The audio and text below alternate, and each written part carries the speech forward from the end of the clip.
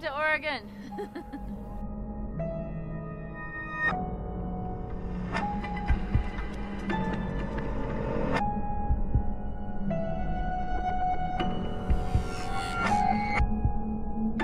I'm Catherine Hardwicke. I'm directing the movie Twilight, and we're up here in St. Helens, Oregon. When I read the book, I thought, wow, this lady, Stephanie Meyers, has done a great job of capturing what it feels like to just be this crazy teenage girl that's just falling madly and obsessively in love with this guy, this super cool, bad guy. And I liked the guy too. He was interesting, strange, drove fast cars, you know, could climb trees and leap out of buildings and but he had like a lot of like other interesting traits and existential issues that he was dealing with you know about his heart and soul and his humanity and what he'd lost so it had a lot of deep things that were really interesting to me i was making a movie in portland in the fall and uh, Catherine Hardwicke, who I had worked with before and produced her last movie, called and said she was trying to make this movie Twilight, which I knew the book series because I tried to buy it about a year and a half ago and found out that the rights were already gone. Um, it had become a huge phenomenon, and uh, the studio she was making it for, Erik Feig, he, you know, he had called and he said, you know, we could use some help because I know you just shot up there and you know the locations and the crew and everything, and you've worked with Catherine before. There's a lot of things that you can do to help us sort of get this going. We have a December release date. We got a lot to pull off, and so um, I came up in, uh, in, in February and began working with her in, in, in pre-production, and uh, you know just dived in it's been a, it's been a ride. For me, right when I read the book, I thought, oh, this is great. It's like you really feel what it feels like to be this girl, and you really hear her voice. And now, and that that's words on a page. And now I want to make it visual for everyone to see it. And I want to find these locations that you read about, the dripping moss and the trees, and just show you like stunning stuff, and put these characters that we love in a visually, you know, fabulous environment and show you that action and just take you on a wild ride. So in a way, we get to take you even further than the book does because we get to go up in the treetops with Edward. We get to, you know, do just some crazy, beautiful stuff and our camera gets to like spin around, take you out in that meadow, you know, all this kind of take you on the ride. The opening sequence is about, you know, uh, Edward hunting, or you know, with the Greek vampire, they hunting animal for life. They don't kill people, so they hunting animals. So the beginning is the opening is the, hunting stuff. So kind of like we shot something like a, almost like a you know documentary, it's like a Discovery Channel, you know, or Animal Planet. It's really beautiful sequence with the deer, and then the tree to tree, the tree to tree is beautiful, and I think the the finale is very cool. You know, the ending when um, when Edward fight with James you know, and there's a really good fight scene, like a lot of firework, and um, we damaged the whole, you know, ballet studio. You know, that we build the set and then we crash everything. We crash the window, we crash the wall, we crash the ground, we do everything. That's a beautiful sequence. And then one sequence is really special is a vampire they play uh, uh, baseball. So that's a cool sequence too.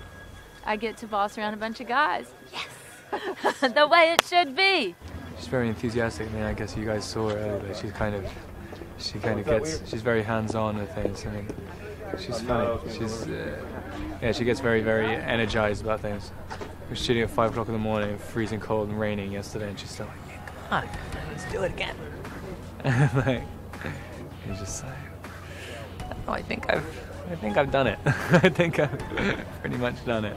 It seems like people are kind of excited about the movie, you know, all the fans.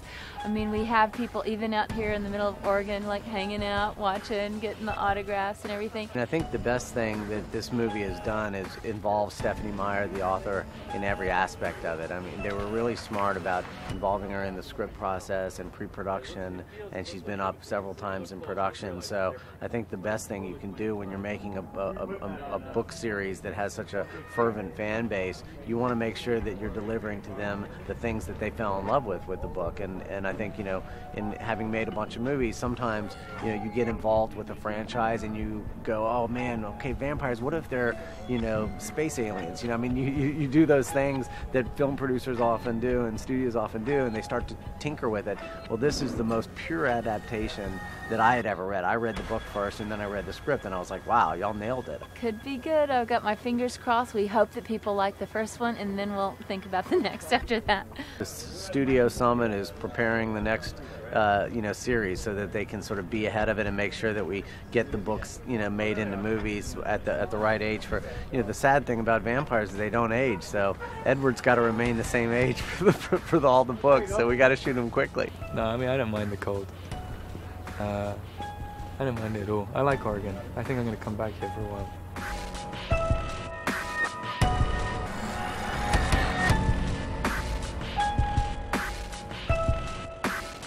Everybody, thank you very much. And I think people are going to like it.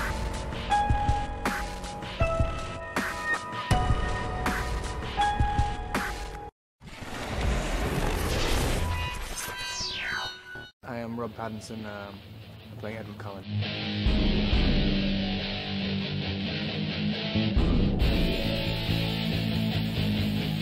I hadn't read the books before, so it's not like I had a, an opinion. I mean, I had to just formulate my own idea of uh, who the guy is anyway.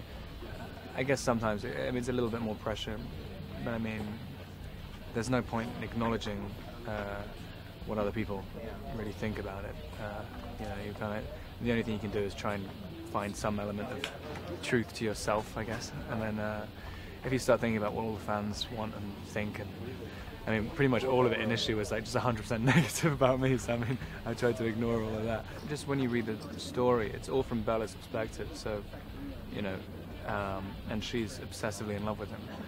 So uh, she ignores all of his flaws and and um, and things. And uh, you know, it's like anybody you're in love with, you sort of see past the the stuff. I mean, Stephanie Meyer gave me this manuscript of um, Midnight Sun, which is Twilight from Edward's perspective, and he just sees himself as the biggest like moron and and, uh, and just disgustingly selfish and everything. So like, and then you can kind of weigh up the two, find some kind of compromise for the character, which is, I mean, that's essentially how I saw him anyway. Because I mean, it's a guy who's just incredibly frustrated and finds this one uh, thing which he can, which is his, and he can't keep it safe, and uh, and that's uh, and that's almost impossible for him to handle. I mean, he's not that great a guy at all. I mean, it's just kind of it's just how she sees him. So I mean, that's how I'm interpreting it anyway. Because I mean, it's just impossible to play a perfect guy. it's cool when I get to do actual vampire stuff, though. I mean, I hardly get to do any vampire stuff.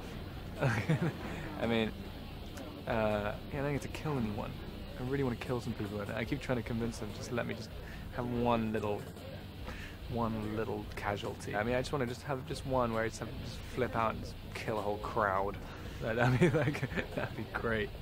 Uh, but um, I think Ed is yeah, he's got he's trying to hide it all the time, which is annoying.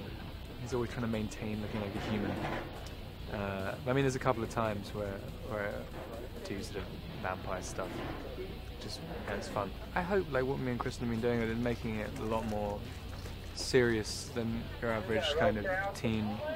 Uh, even though it's a vampire, it's essentially like a teen romance. But I mean, I've been trying to, you know, get more of the um, serious aspects. I mean, he's a 108 year old guy who has who's going to live forever and hates himself. And this girl, I mean, I mean, when you when you put it the bare facts down, he tells her I've killed 40 or 50 people, and uh, he's like, you really shouldn't and I, I want to kill you so much.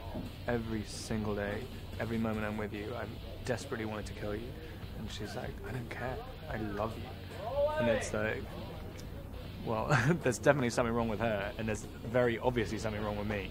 And like just trying to get that kind of relationship rather than like just two teenagers who you know who, who like each other. The thing about Bella as well, I mean, when you're 17, she's very innocent 17 as well in a lot of ways she doesn't really know she doesn't really know herself and yet she knows that beyond all doubt she wants this. And that's just very strange to know that when you're so young because Ed was such a sort of dominating character like Ed, Bella's always falling over and stuff and Kristen is just so like like just very strong in reality. Um, so you know I had to kind of reevaluate how I was going to play it just in terms of that because I mean just kind of intimidating. So uh, yeah, that's that's kind of different thing. I mean, I, I end up playing like the klutz who messes everything up, and she's like the one who takes control of everything. So there's so much of the story is just so serious, and it's sort of and so kind of uh, melodramatic in a way. I mean, it's literally like life or death all the time, and so it's difficult to get in those periods of lightness.